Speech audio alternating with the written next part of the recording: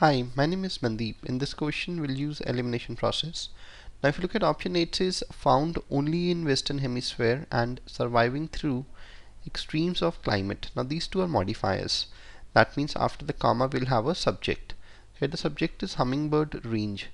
Now, range cannot be found only in Western Hemisphere and cannot survive through extremes of climate.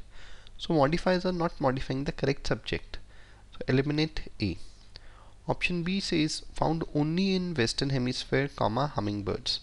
Now hummingbirds can be found in western hemisphere it makes sense let's keep option B. In option C it says hummingbirds comma and then we have another comma. So we have subject comma comma verb construction that means we should have a verb after second comma but verb is missing.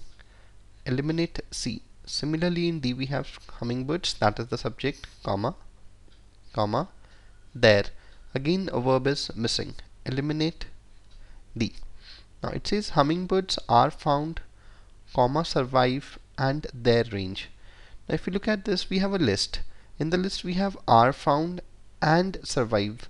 These two are parallel and they must be connected through and we cannot use just a comma to join two parallel elements. So and is missing in this.